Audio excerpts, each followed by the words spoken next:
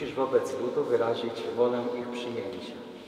Dlatego pytam Cię, czy chcesz wiernie pełnić urząd posługiwania kapłańskiego w stopniu prezbitera jako gorliwy współpracownik biskupów w kierowaniu ludem Bożym pod przewodnictwem Ducha Świętego? Czy chcesz